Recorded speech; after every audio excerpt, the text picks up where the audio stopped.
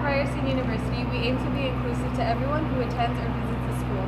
The pod is one of the key features here at campus, and it includes lecture halls and also a cafeteria and service hub where students can address any problems they have on campus.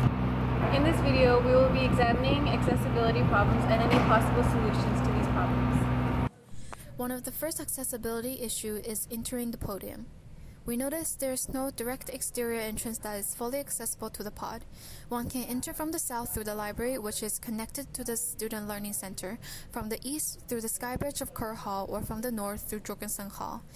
Entering through Victoria Street, there are only two ramps on the exterior. One is located on the side of the library building, and the other in front of Jorgensen Hall. However, both of these ramps do not connect directly to the pod, and one has a very sharp turn. There are four staircases along Victoria Street. One has a column directly in front, and the railings are not perpendicular to the steps. The other three lead towards different platforms with corresponding entrances, but none of them have automatic doors and are only accessible with a student car. A possible solution would be utilizing the empty space beside the staircases and install ramp systems.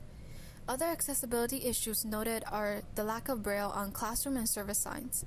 There are two types of lecture rooms. One is flat and accessible, while the other has levels that limit the seating choices of those in wheelchair.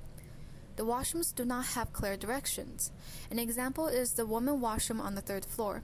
It is not accessible due to, due to the lack of an automatic door, wheelchair stall, and it is a very tight space.